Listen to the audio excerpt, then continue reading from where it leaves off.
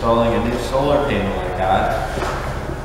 It's a 100 watt solar panel from Renogy. I'm hoping this will allow me to power my fridge while at anchor and not have to rely on running the engine all the time. So let's go install it. First, I'm going to mount the charge controller. The charge controller is what regulates the power from the panel to your batteries.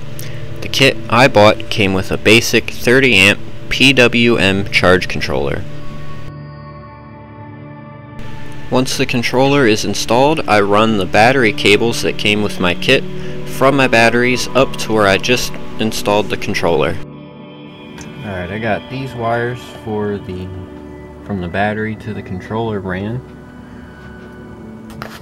So now I'm going to hook up these two, which are for the solar panel next.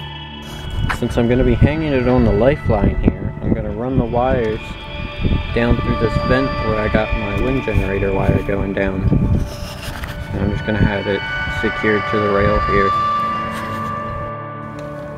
Alright, now I got all four wires ran, and now it's time to bring the solar panel out. I installed the Z-brackets that came with the panel. I'm going to use four small shackles to attach it to the lifelines and seize the ends.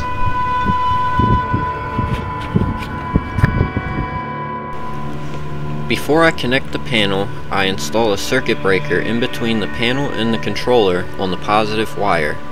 This will allow me to safely disconnect my panel in the future for service if I ever need to. Unhooking the wires on the panel can be dangerous if you don't break the circuit first by a switch like the one I just installed, or by covering the panel with a blanket and waiting for the panel light to go out on the controller. Also, the battery cables must be hooked up to the controller before connecting the panel or you risk damaging the controller. With everything hooked up, I then connect the panel and secure the wires.